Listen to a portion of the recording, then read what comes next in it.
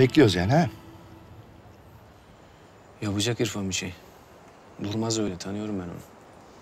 Yapmaması gereken bir şey yapacak. O yapmasa Sait yapacak. Aynen. Çok ters diyorsun abi. Ha?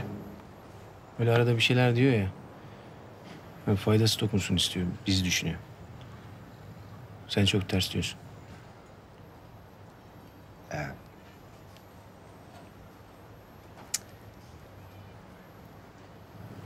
Sağ ol.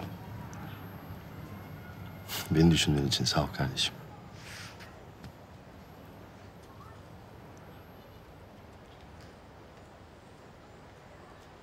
Yahu bu ne?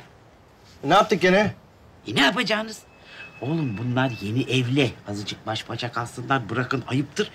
Tünemişler burayı emeklinin horozu gibi. Hadi kış kış hadi hadi. Allah Allah. Benim işe gitmem lazım zaten.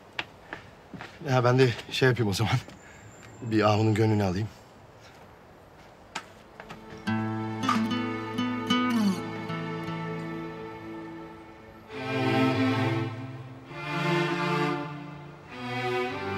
Acılar öldürmüyor insanı. Etmez sanırız. Ama devam ediyor hayat.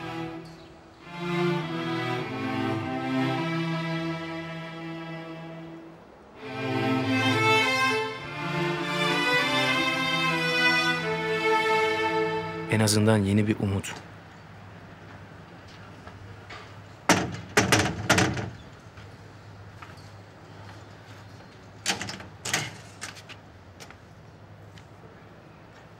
Kızdın değil mi sen bana?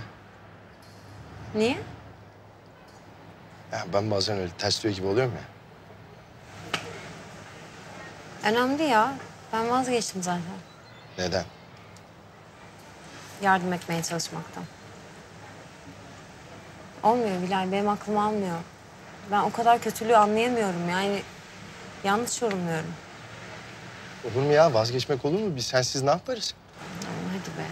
Vallahi doğru söylüyorum. Ahu sen... Ya sen zamk gibisin, uhu gibi. Yani... Ya sen bizi bir arada tutuyorsun, toparlıyorsun, sakinleştiriyorsun. Sensiz olmaz. Gerçekten mi? Yeminle doğru söylüyorum. Ya sen bakma benim ayılığıma. Sensiz olmaz. Sen bize lazımsın. Olmaz.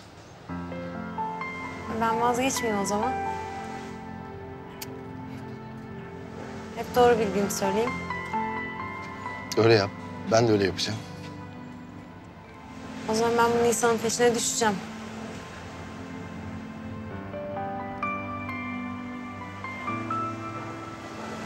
Bilal.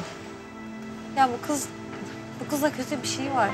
Hiç olmazsa bu işler bitene kadar peşine düşeyim yani. Bu kız bize zarar verecek. Ecevit'e zarar verecek.